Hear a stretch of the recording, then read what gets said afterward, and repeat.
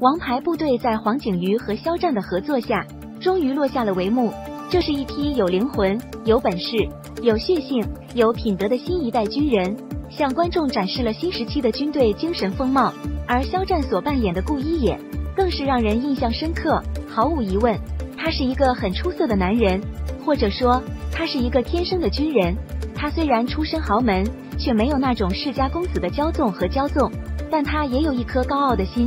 一颗不服输的心，一往无前的傲气，让所有人都对他刮目相看。最让人感动的，还是顾一也知道自己的排长已经死了，顾一也不顾自己的伤势，一遍一遍的去找医生，结果却是一个坏消息。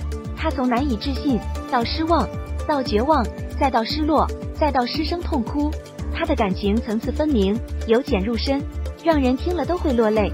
肖战也在微博上发了一条告别的视频。作为顾一野的告别，他说：“你好，我叫顾一野，我已经当了大半辈子的军服，我的人生就是为人民服务，保卫国家安全是我的职责，也是我所有的兄弟和战友的职责。我的故事虽然已经结束，但以后会有很多像顾一野一样的战士故事。